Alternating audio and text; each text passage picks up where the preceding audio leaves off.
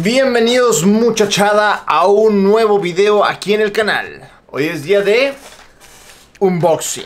Hoy les traigo el segundo video de esta serie de periféricos de T-Dagger. Y el día de hoy toca la oportunidad de un mouse gamer.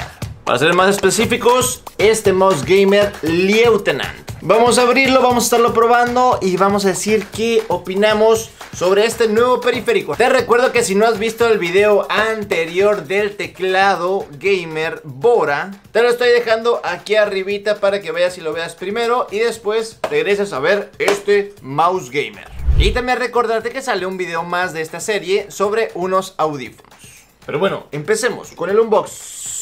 Muy bien, empecemos con esta cajita, una cajita sencilla al igual que el teclado, donde podemos ver el producto en primer plano y en la parte de atrás vemos alguna de sus características. Una caja sencilla, pero sirve para lo que es, para mostrar el producto rápidamente y decir lo más importante. Muy bien, para hacer el unboxing deslizamos la bandejita y luego vemos que tenemos nuestro manualito para las instrucciones, que son instrucciones muy sencillas, pero todo está aquí. Y obviamente nuestro mouse gamer. Un mouse que a primera instancia se me hace un mouse bonito, me agradó. Tiene varios detalles interesantes, pero bueno, veámoslo más a detalle. Al momento de agarrar el mouse puedo decir que es un mouse que no es un mouse ligero, pero para un servidor a mí se me hacen más cómodos y más fáciles de utilizar un mouse que tenga un buen peso, que esté equilibrado. Y creo que para el tamaño del mouse y la forma creo que está excelente. Esto ya va dependiendo de gustos, obviamente. Siento buenos materiales de construcción, aunque para ser honesto no soy muy fan de esta especie de material que muchas marcas lo utilizan porque siento que este material tiende mucho a ensuciarse muy rápido.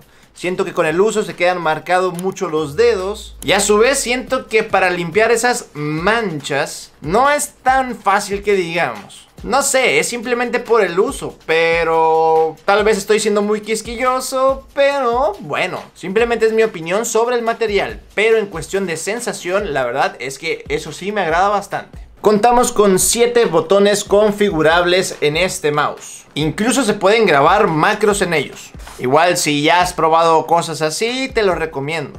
Los interruptores de este mouse son de la marca Uano los cuales prometen 20 millones de clics. Ahora, si nos pasamos a la parte del sensor, tenemos un Pixar, más específicamente el P3327. El DPI mínimo que le podemos otorgar a este mouse sería de 200 y el máximo sería de 12400. Hay bastante rango por ahí. Cabe destacar que la configuración de los botones y el DPI lo podemos hacer a través de una app que tiene para tu computadora. Es una app muy sencilla que te va a servir para tal cual, configurar tu mouse. Ahora bien, el agarre del mouse. Este agarre es para personas que utilizan el agarre de palm, o sea de palma, o de claw, o sea de garrita. Si tú utilizas cualquiera de estos dos tipos de agarre, la verdad, este mouse creo que te va a acomodar bastante bien. En lo personal, yo lo estuve utilizando principalmente en shooters como Valorant y también estuve tryhardeando y aprendiendo un poco de League of Legends. Que ojo, este y otros periféricos los muestro primero en mi canal de Twitch cuando los estoy probando. Así que te dejo los links en la descripción.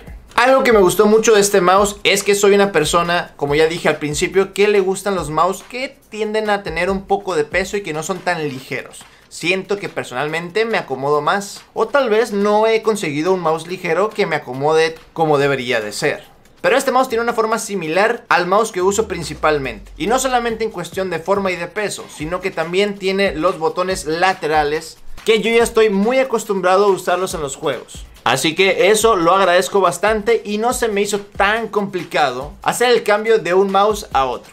Obviamente no puede faltar en un mouse gamer la iluminación RGB para que se vea mamalón. Se me hizo una iluminación bonita e interesante y que está bien distribuida. Porque luego hay algunos mouse que pues la verdad ni siquiera lo ves. Pero repito, eso nuevamente son solamente gustos. ¿Cuánto cuesta este mouse? Solo para repetir lo que dije en el video del teclado, es que T-Dagger dice que es una marca que trata de dar lo mejor que se pueda a sus usuarios, pero al costo que en verdad debería de costar. Dar precios accesibles para la mayoría de gente y productos que valgan la pena.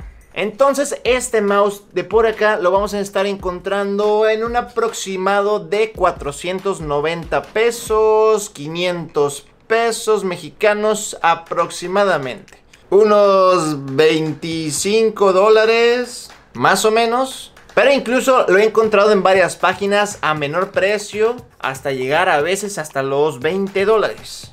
Creo yo que para ese precio de alrededor de los 500 pesos mexicanos es un mouse de entrada que la verdad tiene bastante calidad, está muy interesante, a mí me agradó por mi estilo de juego y de agarre, pero definitivamente a más de uno de ustedes le va a interesar. Pero ahora cuéntame tú en los comentarios ¿Qué te parece este mouse? ¿Se te hizo bonito? ¿Se te hizo feo? ¿El precio se te hace accesible o no tanto? ¿Tiene los requerimientos necesarios para que te lo compres? Y tal vez en qué juego lo estrenarías. Los voy a estar leyendo y dejando su respectivo like y corazoncito. Nuevamente recordarles que dejes tu poderoso like si te gustó este videito y que te suscribas y actives las notificaciones con la campanita porque se viene el tercer video de esta serie de T-Dagger y además muchos videos de unboxings te dejo todos los links de compra aquí en la descripción y también te dejo las redes sociales para que vayas y me sigas y también para que te enteres de qué productos voy a traer al canal. Pero bueno, eso es todo el video del día de hoy. Les mando un besito en sus axilitas y nos vemos hasta la próxima. Adiós.